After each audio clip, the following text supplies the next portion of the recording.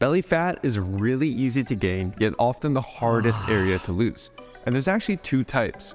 There's that annoying belly fat we all know that covers your abs, but there's also a more dangerous type of belly fat stored deep within your organs known as visceral fat, which can create serious health problems. To find the most effective way to get rid of both types of belly fat, I reached out to five of the world's most qualified fat loss scientists and came up with five easy steps anyone can start doing today to lose belly fat. For the first and most important step, I spoke to Layne Norton, scientific researcher, champion powerlifter, and honestly, just a really smart dude who calls out BS when he sees it.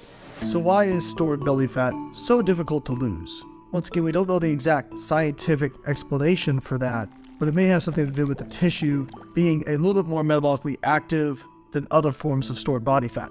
Now, the real question is is there any way around that? Well, yes, kind of. Sadly, even though we'd like to think if we do a bunch of crunches and work the area where the fat is stored, it will preferentially target that fat, there is no evidence to support that idea, and it's unlikely that that would make a difference overall. Now, there is research showing that exercise can reduce visceral fat without actually causing weight loss. So it is a good idea to exercise in general, but specific exercises are not going to target preferentially belly fat per se. I know people don't want to hear this. The real key to losing belly fat is just getting into a caloric deficit consistently and doing it for long enough. Now, the most effective way to create the calorie deficit Layne talked about is by modifying your diet. That's where our next expert comes in, Alan Aragon. Alan is one of the world's top nutrition researchers and educators with over 30 years of success in the field. He recommends first, find out roughly how many calories you're eating a day. Next, find out how many calories you should be eating to lose fat which you can do by using the free calculator I've made over at builtwithscience.com slash calculator. Then simply try to close that gap over time with most of your foods coming from the following sources. You have to be eating the foods that you like and look forward to. People have an idea of what their 20 favorite foods are. That's honestly that that's what they should be eating. That's what they should be eating. And people freak out when they hear that. But hey, man, if you love the foods that you're eating, you're going to stick to your diet. It helps to have an awareness of the food groups as well. Yeah. Because when I say your 20 favorite foods, I mean your 20 favorite foods that are reasonably healthy choices across the food groups. And there's six of them. There's the, the meat or the high protein group, there's the fat group, there's the fibrous vegetable group, and there's the starch group, and then there's the milk group, and then there's the fruit group. So mm-hmm. choose your three favorite foods across, like in yeah. each of those food groups. Choose your three favorite, three favorite ones you like the most. And there's your diet, man. There's your diet. Oh, oh wait, we have two two more foods left to get those 20 foods. Choose your two favorite YOLO foods, your two favorite desserts or whatever, or what you like wine, okay, wine and freaking cookies or something, you know, yeah. brownies and ice cream, whatever. Yeah. Um, and that's a healthy diet right there that'll hold you down for for life and not just a dieting phase. I love that approach. I've never actually heard somebody put it like that. Um, but now, what about protein intake? How important would you say protein intake is for losing belly fat, just losing fat in general? Protein intake, adequate protein is crucial. Among the macronutrients, it helps you preserve muscle mass. It's the most potent thereof because it's protein is muscle mass is protein. And this is sort of a side thing that's a little bit trivial, but protein has the highest energetic cost of processing within the body. And so, um, in you know, in theory, you take a, a diet that's 100% protein, then your body will spend about 30% of those calories just trying to process it. And and so it's like that's not necessarily the case with carbohydrate and fat. This helps from the standpoint of um, a, a weight and fat loss perspective.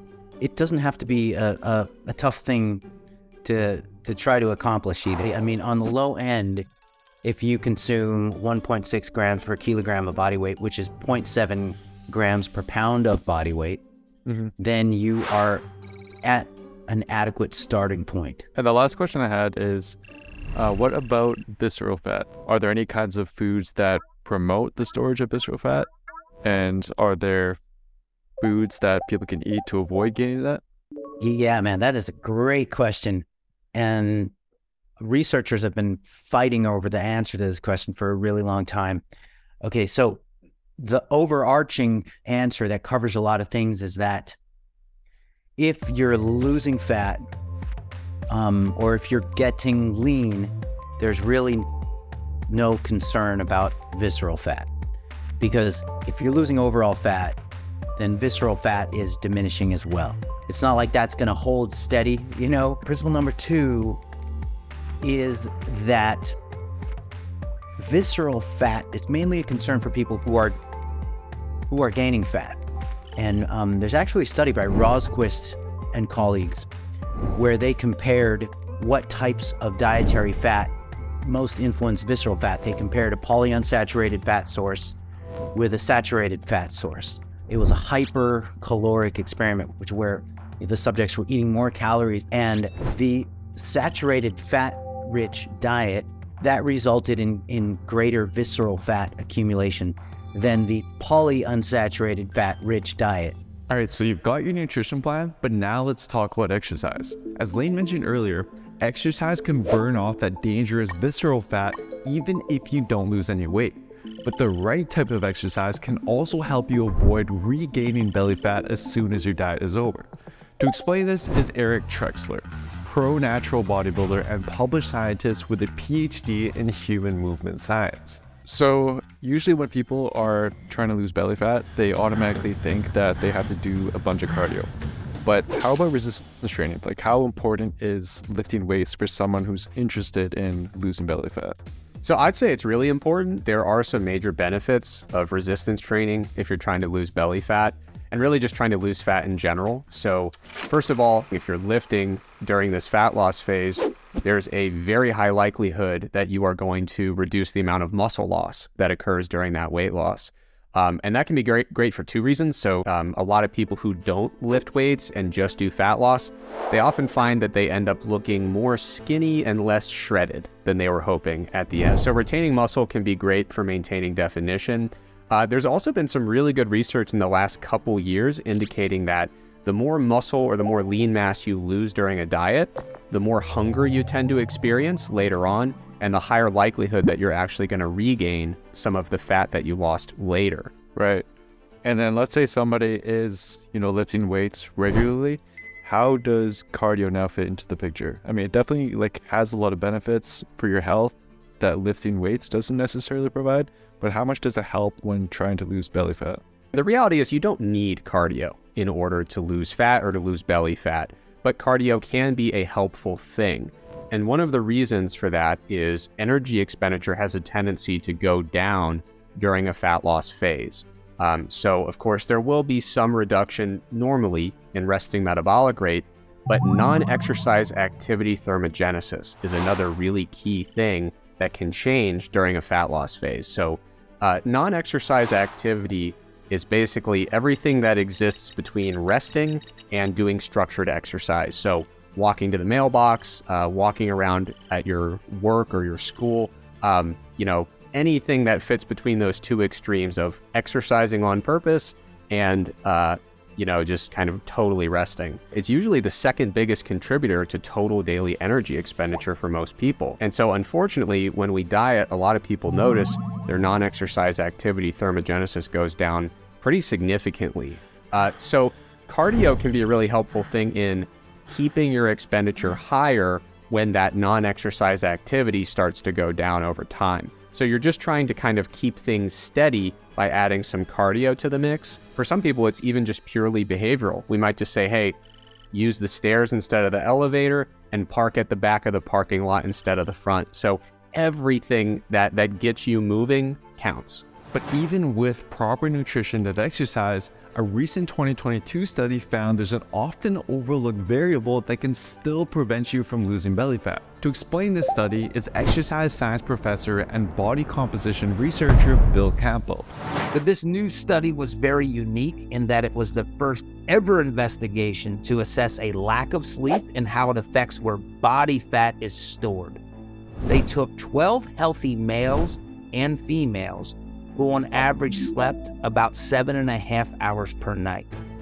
They had these subjects live in a research sleep lab and then placed them into two different sleep conditions. The first condition was a sleep restricted condition where they were allowed to sleep only four hours per night. The other condition was a normal sleep condition where they were allowed to sleep nine hours per night. And during this entire process, they were allowed to eat as much and whatever food they wanted to eat.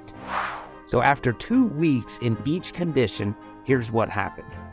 The sleep restricted subjects, on average, consumed 300 more calories per day, and they gained about a pound of body weight when compared to the subjects when they were in the normal sleep stage. But here's where things get really interesting. The subjects that were sleep restricted, they gained 8% more subcutaneous body fat than the normal sleep condition. They only gained about 4%. The other part of our bellies that stores fat is called the visceral region or visceral body fat. And that's the dangerous body fat because that's associated with a lot of adverse health outcomes. The sleep restricted condition caused an increase in 11% of this visceral body fat. In the normal sleep condition, they didn't gain any. Now, again, we would expect they, they ate more calories, they gained a little bit more body weight, so we would expect a little bit of a gain in body fat, but not nearly to the extent that we saw as it was localized to the belly region, to the abdominal region. So this study suggests that there may be a link to sleep restriction leading to overeating, which causes a gain in body fat that is preferentially stored in the belly region. So, my takeaway from this is to make sure that you prioritize sleep. I would suggest that you get about seven hours per night and that you do not overlook the importance of this. Now, I know some of you might be thinking, okay, well, the subjects were overeating. What about if I'm still in a calorie deficit? Does sleep still matter as much? And that's a valid question. And a 2010 study actually tested this. Researchers put two groups of subjects on a weight loss diet with the same amount of calories. The only difference was one group slept eight and a half hours per night, while the other group slept only five and a half hours per night. The result? Both groups lost a similar amount of total weight. Both groups also did lose some muscle because they weren't lifting weights, but the well-slept group lost 1.6 times less muscle and lost 2.3 times more fat than the sleep restricted group, suggesting that a lack of sleep alone may in fact lead to more muscle loss and less fat loss during a diet. So you've now got all the tools you need to lose belly fat, but there's one more thing you need to add to your plan failure to do this is why so many people start out strong yet never end up successfully losing their belly fat. Laurin Conlin, a master coach, exercise scientist, and IFBB Bikini Pro will help explain what this missing piece is. All right, let's go through what commonly happens. So a client is going to obsess over losing belly fat. Even if they've seen some changes on the scale or seen improvements in other areas of their body, since there hasn't been much change in their belly fat, they're going to feel like what they're doing isn't working or it's not happening fast enough. Some clients are just going to give up right then, while others are going to slash their calories or increase their cardio. This increase in their deficit is typically unsustainable, though, so they're going to fall off plan and inevitably quit. First, it's important to recognize that unless genetically you have little body fat on your abs and core area, that you will probably need to get leaner than you'd think to lose belly fat. For many people, the belly is the last area where you're going to see fat come off. But in the meantime, you can pay attention and be proud of the progress that you've made in other areas like your face and your shoulders and your legs, and trust that if you remain patient, that eventually you'll start to see more and more progress in these problematic and stubborn areas. Second, take multiple measures of progress. You can use scale weight and measurements as quantitative feedback, but we also want to look at qualitative feedback, such as how your clothes are fitting, how you're looking, and how much better that you're feeling. Don't just obsess over your belly. And lastly, and probably most importantly out of this entire video, be patient and recognize that you're usually quitting right before it gets good. Okay? It doesn't matter how perfect your program is, Unless you are patient and remain consistent, you are shortchanging yourself and your results. You owe it to yourself to make this change. So don't give up, follow or create a great program, adjust it when it's necessary, and take your time. Your belly fat didn't get there overnight, so you're not gonna lose it in a few weeks either. I want to give a huge thank you to all five of the experts who helped with the video. Guys, these five truly are the best of the best. I've been following and looking up to them for many years, ever since I started my own fitness journey. So being able to interview them and share their work with you guys is such an honor. And I've put links to all their social media websites down below so you can go give them a follow. And if you're interested in joining a science-based plan to transform your body as efficiently as possible, just take my free quiz at builtwithscience.com and I'll let you know what program is best for you and your body. Give this video a watch next for an exercise plan that can help speed up fat loss and I'll see you next time.